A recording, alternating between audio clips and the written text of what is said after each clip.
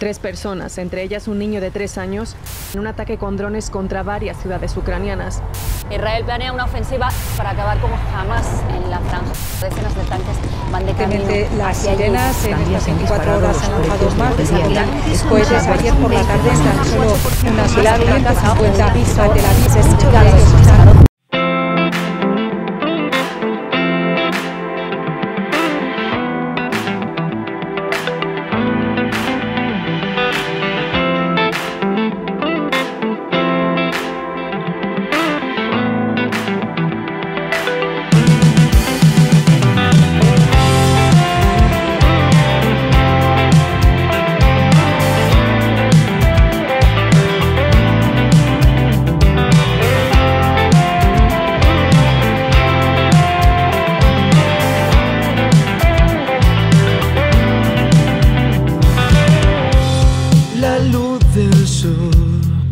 cambia de color refleja la inocencia en un cristal dibuja un corazón que aprieta mis costillas que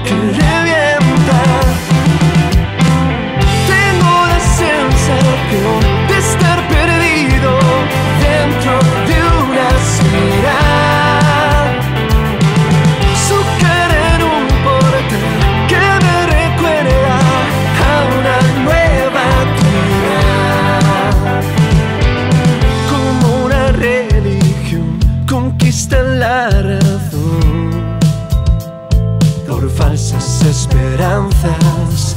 Ya saben dónde dar para no